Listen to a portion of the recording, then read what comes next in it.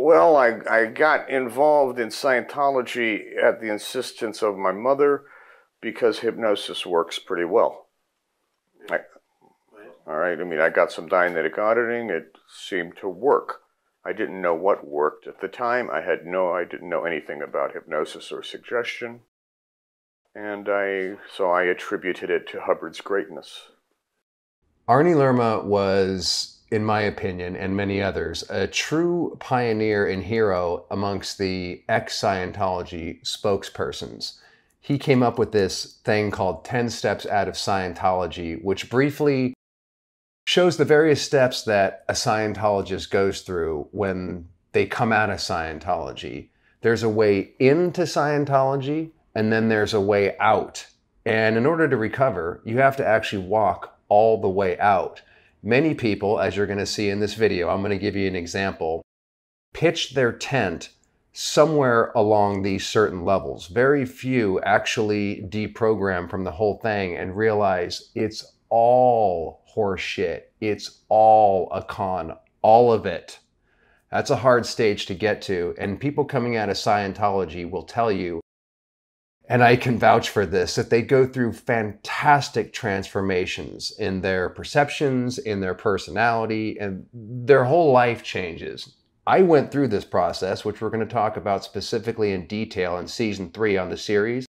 But let's talk informally about the subject of deprogramming, about getting out of Scientology. And I'm going to show you um, some examples, and I'm going to answer uh, a particular viewer's question that's pertinent to this particular subject. So, without further ado, let's get into it. And I introduce to you Arnie Lerma's The 10 Steps Out of the Cult of Scientology. Holy shit, there's something wrong here. If this is so great, then why is blank going on? Insert whatever atrocity you have recently witnessed. The guys at the top must be crazy.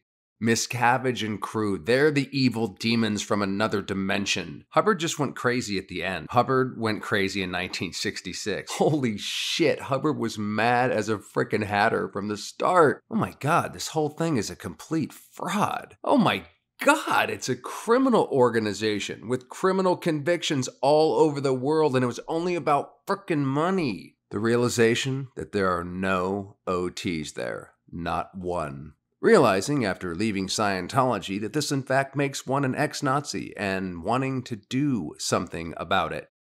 The part of Scientology that works is the lawyers. Okay, so step one here. Let's break these down, shall we, my friends? So, number one, there's something wrong here. If this is so great, meaning Scientology, then why is blank going on? Insert whatever atrocity you have recently witnessed.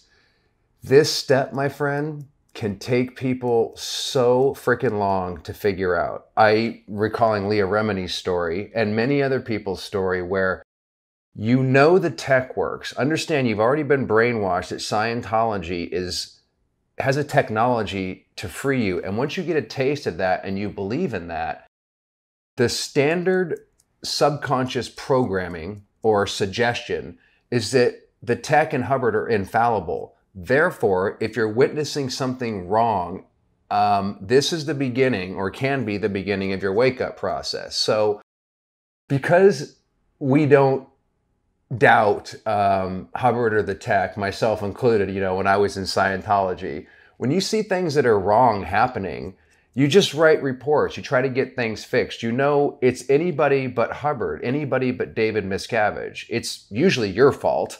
And if it's not your fault, then it's somebody else's fault. And you just handle it all internally with the ethics conditions and all sorts of things. But every once in a while, especially if you've been in for a while, maybe you'll see that the org is kind of empty. And then Maybe you see bad behavior or the statistics are falsified or any number of things that can happen after you've been in for a while that make you start wanting to fix Scientology, wanting to, you know, handle it. And again, they have a whole procedure where you write up lines to, you know, somebody, I'm having such and such problem, I just witnessed so and so, and then it circles back around where it gets fixed or it doesn't. It's circular logic and on and on it goes. So this first step can take for forever for you to finally go beyond that you know something bad is happening here into step two where it says the guys at the top must be crazy. Okay i see what's going on here. Again it's not miscavige yet. It's not the dead l. Ron hubbard. It's the freaking management that you're dealing with. It's your particular org or mission where you're getting services from. It's a particular executive director or mission holder.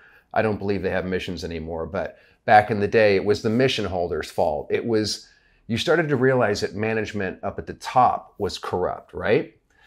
Step three. Now, this is where we have the indie Scientologists, and where so many ex Scientologists hang out at for a long time. People can spend a lifetime on this particular one. And that is Miscavige and crew are evil demons from another dimension or something similar. So this this is what sparked this particular this week's cult clip is because I'm going to show you a discussion between uh, a Scientologist or ex-Scientologist who actually got to step 10 it appears and you know doesn't believe in any of it and an indie Scientologist and they had a little fight uh, not fight but a, a very interesting discussion uh, on this thread on the Danny Masterson video to be continued on that.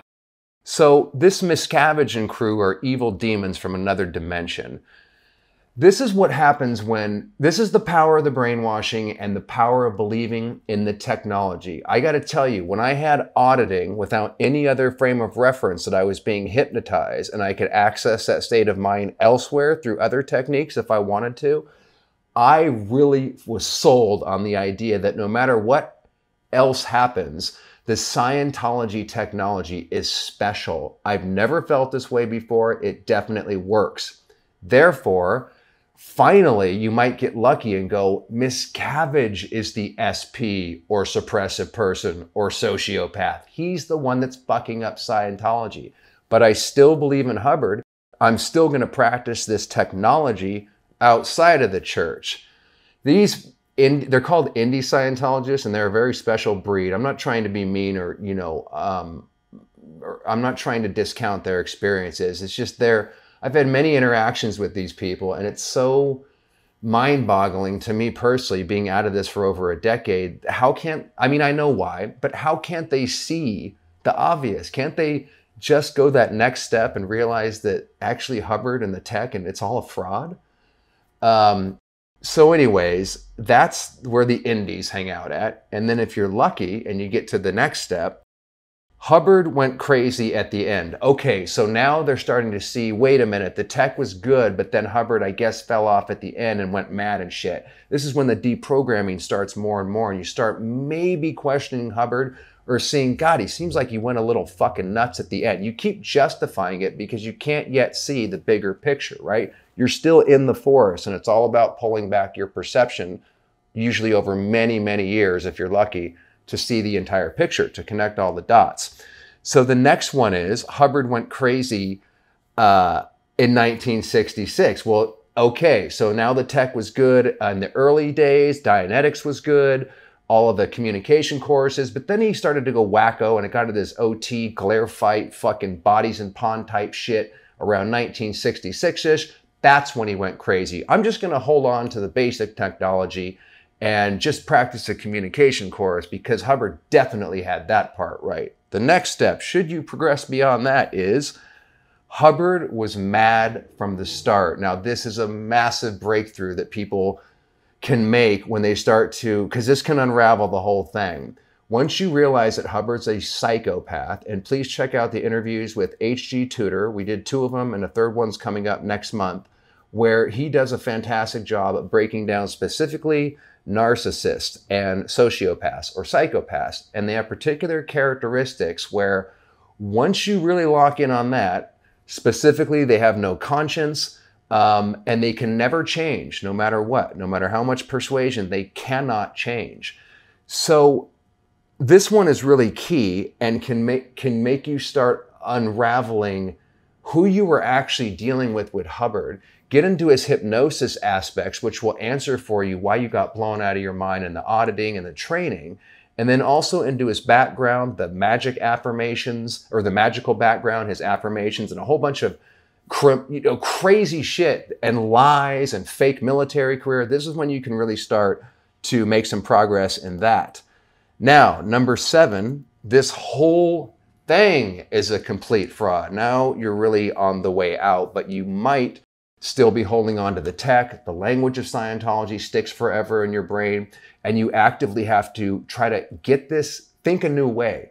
Get these, stop thinking and stop speaking in Scientology terms. That's around step seven here, where this whole thing is a complete fraud, where that kind of huge transformation or beginning of a transformation can actually start. Number eight, my God, it's a criminal organization with criminal convictions all over the world, and it was only about money. It's actually about money and power and shit. And there's a little bit more to it than that. But this step eight here, this is when you start to realize the extensive crime mafiosa um, connected uh, huge conspiracy, criminal conspiracy that Scientology actually is. And there's endless document, documented evidence on that. And we'll be going into much more detail as to just how bad that particular part is. Number nine is the realization that there are no OTs there. There's no clears. A state of clear doesn't exist. It's impossible. There's not one OT and one clear. The technology was all bogus. And this is, again, when you can start regaining some of your own personality back and getting rid of Hubbard's toxic thinking out of your head. Number 10 is when you come full circle and you realize after leaving Scientology that this makes one an ex Nazi and the desire to do something about it. Arnie Lerma is not joking about that. Um, I, when I realized how I treated my friends, you're taught to look down on homeless people. You're taught to look down on anybody that's having a hard time. I mentioned earlier, it's a very rich man's snobby cult, and it creates an unbelievable arrogance that can take a long, long time to be humbled and to be put down to size and start um, start grounding yourself in reality and get your humanity and your heart back. I went from one to 10 literally in a single day in about 20 to 30 minutes when, as I mentioned before, a cult book was dropped off on my doorstep. That does happen sometimes to people. It's kind of unusual. Normally, this can take a lifetime. And a lot of people, like I said, can spend a lifetime at level three where they just think it's Miscavige's fault. They become independent Scientologists and practice a technology outside of it and there's many people that are spokesperson in the ex-Scientology community that you guys watch if you follow Scientology that act, that actually have not gotten past that point. We'll be talking all about them in due time.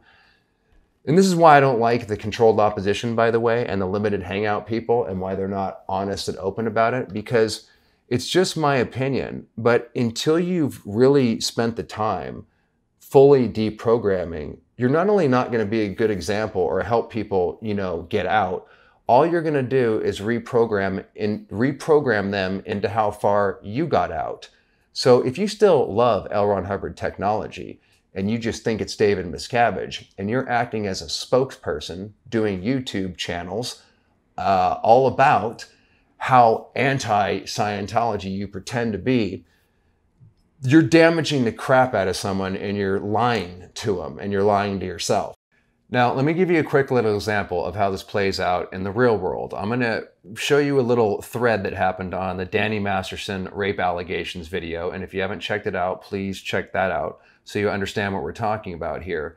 But this is an example of a level three Scientologist, i.e., someone who just thinks it's David Miscavige's fault and therefore has left the church, but totally believes in the L. Ron Hubbard technology. This is a gal who's been in for 27 years and has family members in. So, you know, the sunk cost fallacy plays a part in this to give up what she believes in, to let this go and consider um, what Mark, a level 10 Scientologist, was trying to say to her is tantamount to having your life implode on you, but it's also an opportunity to wake up. When I say uh, Mark's a level 10 Scientologist, that means you're going to be hearing a few snippets of somebody who, like I uh, and others, have discovered all of Scientology is bullshit. And this got under my skin a little bit, but I've had so many of these conversations that I'm pretty numb on it and I don't engage too much because talking to someone who is brainwashed, which is what they are, um, is impossible. Every single thing that they they see through a filter, right? Scientology and any religion or belief system that people have, it's like a filter. So it blocks out all other sorts of information that would normally be available in a healthy discussion or a healthy discovery. But this is what Scientology and other cults and other brainwashing machines do to people. So she jumps on this freaking Danny Masterson thing a couple days ago and says Scientology has their own internal justice system, which, if applied correctly, should have resolved this matter 20 years ago. However, maybe these women finally decided to leave the church. These are the women that are accusing, you know, Danny Masterson of alleged rape. Maybe these women finally decided to leave the church for other reasons, so now is a convenient time to resurrect their rape allegations. Since they were planning to leave the church anyways? One question to answer is, and here's where the Scientology filter system kicks in what justice actions did the church take in order to address this situation to everyone's satisfaction? Again, this gal, bless her heart, cannot see that there's anything at all wrong with Hubbard or Scientology or anything. It's strictly Miscavige's fault. So she doesn't realize how offensive and ridiculous and robotic, and she's just repeating what she had downloaded into her mind by Scientology that she's supposed to think with and say. She doesn't realize, like I didn't when I was in this Truman Show bubble, how insensitive, ridiculous, and callous you come across. So, anyways, this guy named Mark, who you know clearly has gotten out of Scientology, uses a lot of um, facts and evidence and a lot of good humor to try to you know talk some sense into her or just state the facts. He talks about you know the affirmations that Hubbard put out, um, the fact that everything works in a circular logic. He recognizes that she's trying to handle his disagreement. He's been there and done that, but she, you know, can't see that. So at the bottom of this thing, it's like goes on forever. And she just says, in response to no matter what evidence he points out, he even provides links, you know, so she can check it out herself. She says, I'm sorry to hear that you had some bad experiences at three different orgs. I have also had disagreements with the way the church has been managed, especially after Miscavige took over. Again, level three Scientologist, which was a huge transition for the church. However, there are not supposed to be any secret orders, and there is even a policy that strictly forbids secret orders or hidden data, blah, blah, blah. Again, Mark's trying to point out how everything's kept compartmentalized, like we talked about a million times. Scientologists have no idea about the secret OSA orders. Those are the little secret uh, CIA intelligence operatives. They have special orders that the public never finds out about. There's all sorts of different uh, information that you learn as you go higher and higher up that the public is absolutely unaware of. And even though she has access to the internet and could check this out, again, once the Scientology program is running, it's very difficult to break. Bless her heart. Uh, and she says, I never heard of the affirmations, Mark, and since it's not proven to be written by LRH, it's irrelevant in this discussion. They have been proven, and if you take any religion, what do they say? It's not God didn't say it. It's not in the Bible. It's not in the Quran. It's not in, in Hubbard's book. It's like, dude, try looking into your cults or religion's origins. Try thinking for yourself, would be my advice, because I wish I would have learned this a lot sooner. Why do you have to think within the dictates, uh, especially of a psychopath? Anyways, um, you know, it, it, ends with, with um, Suzanne saying that. she tries to, like I did a million times as a Scientologist, handle Mark or try to find out what the fuck is the actual problem. It's never Scientology. She tries to find where he went wrong in his Scientology that made him disgruntled, which is what she, I mean, she watched that Danny Masterson video. I couldn't have been any clear about how it kind of works and the gaslighting and stuff. And yet, she interprets it in a way that's totally different than anything that was actually said. I want to give you one more example. You know, I have no idea if my parents have actually seen any of these, these videos. I assume that the church, the you know, two days later after I put out the first video about 14 months ago now, I thought my mother and particularly my father were going to be at my door, flanked on both sides by two fake um, military people in known as the Sea Org to try to handle me and get me to stop talking online negatively about Scientology. Um, I'm sure that they've been contacted. Um, I have no idea what's going on with that, nor do I give a shit. Um, but this is this is um, this is so fucking challenging to break, especially like Suzanne. You know, she has family that's been in there. She talked about how she's hanging in there despite church management. Remember those 10 steps we went over? Just to find out that something's wrong takes a long time. And then when you do, you're going to go around in circles. Like I said, it's a self referentiating, self reinforcing feedback loop. So because you can't think outside of Scientology and actually see what's going on, you're programmed to always handle it with L. Ron Hubbard or Scientology policy. That's the hardest thing to break. Once you can get out of that, everything else falls. Waking up out of Scientology was by far the most challenging, that's an understatement. Um, it was the most challenging experience that I will ever have in my life. And it's also, I've told my friends often to ask about this, it's the greatest gift I've ever been given because it gave me, as they say in the Bible, the eyes to see and the ears to hear. I I would do knowing what I know now, I would give anything to have broken out of that and to live the rest of my life the way that I live it now. It hardened me up. It took me from a frightened little boy to a lot of learning experiences that just basically, let me explain it this way. There's a huge power dynamic shift. I used to have to bow down to L. Ron Hubbard, to what my parents said, to what the Scientology doctrine demanded that I live my life around. So I was afraid of and controlled by a psychopath. Once I woke up to what was going on, I saw L. Ron Hubbard for who he really was a little boy in short trousers, a bully, a pussy, a complete coward, and just seeing him how tiny he really was. The power shift was such that I went from being, oh my God, what am, what's going to happen if I don't follow the rules, to what a fucking joke.